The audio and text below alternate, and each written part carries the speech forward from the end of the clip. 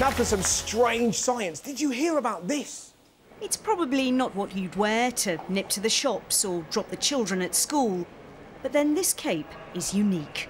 It's made from the thread of more than a million golden orb spiders. Yeah, if your mum rocked up to school like that, it would freak you right out. All right, Red. the spiders made my cardigan. Did, did, did they, mum? Yeah, and the hedgehogs have made my slipper. Mum, have you been taking your pills? No.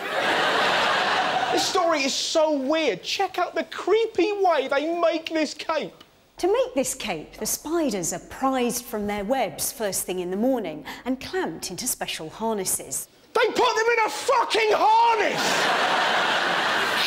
Ah! It gets worse. Look what they do next. A long, continuous golden thread is then extracted by hand. Ah! Get your finger out of my arse! No! I just want to eat flies! I just want to eat flies! That is the weirdest job ever. There must be a moment when you're pulling white stuff out of a spider's anus when you go, you know, I should really have tried harder at school.